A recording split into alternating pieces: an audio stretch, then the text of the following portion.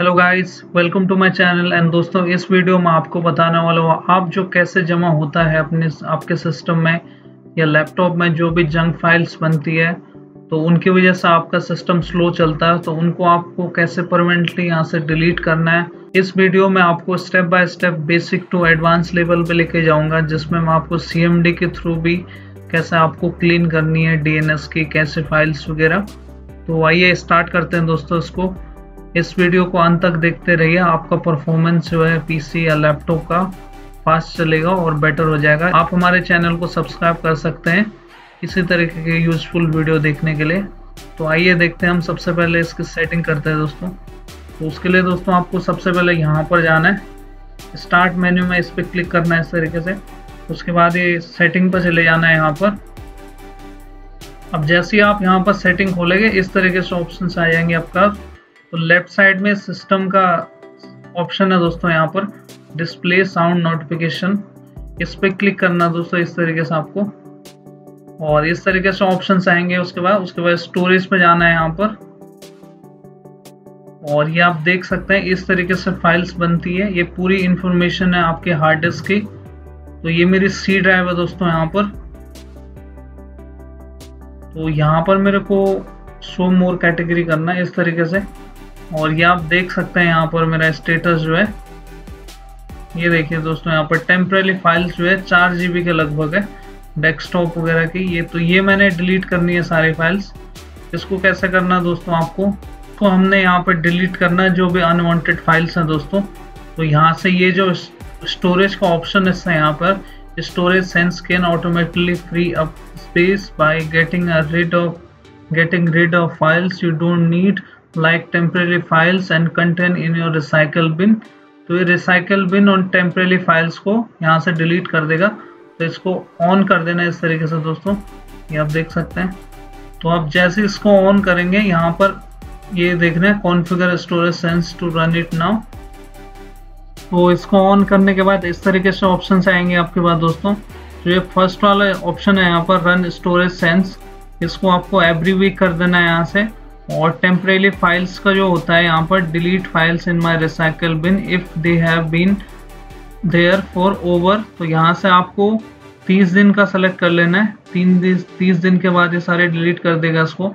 और ये ऑप्शन आपको नेवर रहने देना है क्योंकि ये डाउनलोड का ऑप्शन है, जो भी आप डाउनलोड करते हैं यहाँ से। तो यहाँ पर क्लीन नाउ पर क्लिक करना आपको इस तरीके से। और अब ये यहाँ पर जो जितने भी टेम्परेली फाइल्स हैं यहाँ पर ये डिलीट हो रही है यहाँ से स्टोरेज से।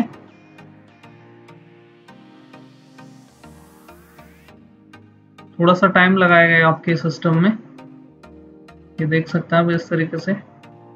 अभी टिक बन के आ जाएगा आपके आपके पास। आप देख सकते हैं इस तरीके से। यहाँ डन का मैसेज आ गया। We are able to free up space 5.73 disk clean up space इस तरीके से ऑप्शन आ जाएगा। और अब आपको एग्जिट कर लेना है यहाँ से। और यहाँ से एग्जिट करने के बाद दोस्तों हमने अगले स्टेप की तरफ़ जाना है। यहाँ से सर्च बार में आपको जाना है। और इंटरनेट यहाँ पर टाइप करना है। इंटरनेट ऑप्शंस ये आप देख सकते हैं। ये आपके पास आ जाएगा ऑप्शंस और यहाँ से जनरल टैब को सिलेक्ट करना है दोस्तों इस तरीके से। ये वाला।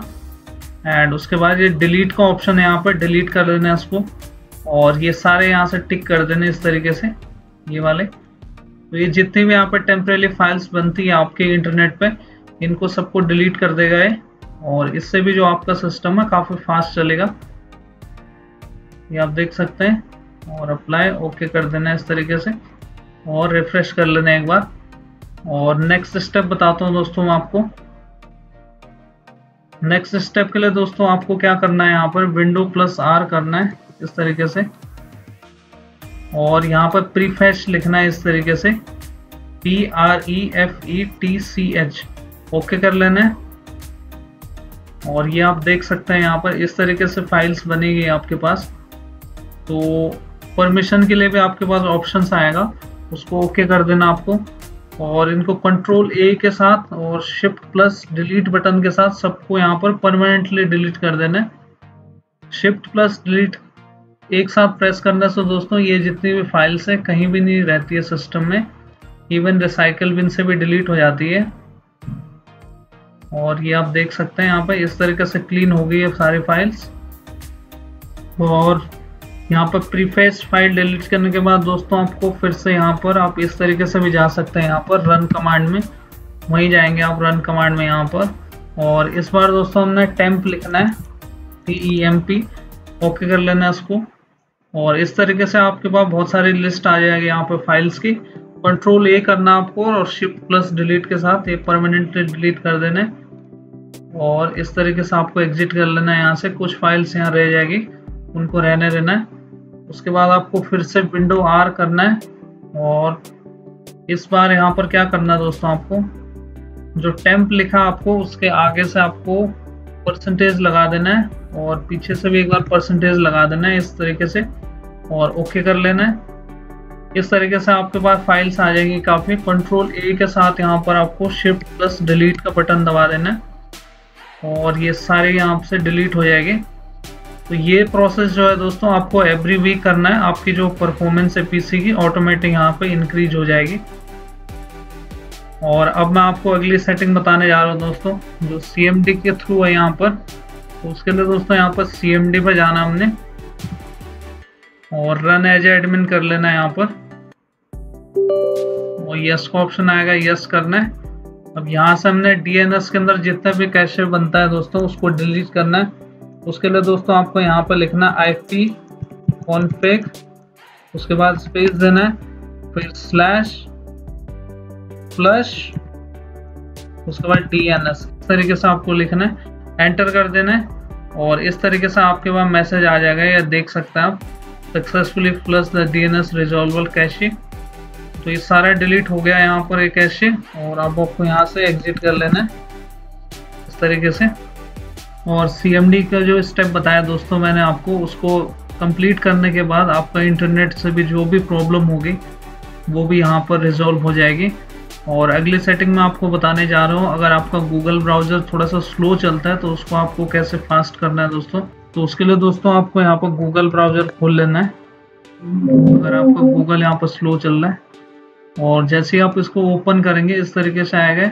यहाँ पर जो लेफ़्ट राइट साइड में है दोस्तों, यहाँ पर थ्री डॉट्स इस पर क्लिक करना आपको और उसके बाद हिस्ट्री पर चले जाना है इस तरीके से और यहाँ पर हिस्ट्री पे क्लिक करना आपको। और इस तरीके से आप ये देख सकते हैं, आप जितनी भी यहाँ पर सर्च करते हैं, पूरी डिटेल्स आती है यहाँ पर आपकी।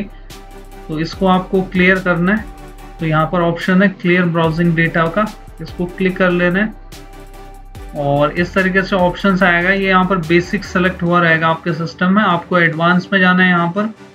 और इसको ऑल टाइम सेलेक्ट कर लेना है। ये आप देख सकते हैं, आपके पास हिस्ट्री आ जाएगी यहाँ पर। जितने भी आइटम्स आपने सर्च किए होंगे यहाँ पर गूगल ब्राउज़र पे। या फिर कोई सा भी ब्राउज़र होगा दोस्तों, इसी तरीके से आपको उसकी हिस्ट्री डिलीट करनी है। और यहाँ पे क्लियर डेटा पे ऑप्शन आ जाएगा आपके पास, इस तरीके से। और आप देख सकते हैं, पूरा यहाँ से मैंने क्लीन कर दिया जितना भी डेटा है, और यहाँ से एग्जिट कर लेना आप। और लास्ट में दोस्तों, मैं आपको एक और स्टेप बताता हूँ, जिससे वो आपको डिस्क क्लीनअप करना आपको यहाँ पर, आपको लिखना है डिस्क क्लीनअप ये आप देख सकते हैं ऑप्शन आ जाएगा आपके पास। और आपके पास यहाँ पर जितने भी ड्राइव्स होंगे यहाँ पर, उसको सेलेक्ट करना आपको इसी तरीके से, और ओके कर लेना और इस तरीके से ऑप्शंस आ जाएँगे ये। इसको सबको टिक कर देना आपको। इस तरीके से। इससे क्या होगा, जो आपकी ड्राइव होगी, वो क्लीन हो जाएगी और इससे भी आपका कंप्यूटर जो है फास्ट चलेगा। So thanks for watching our channel hit like subscribe and share thank you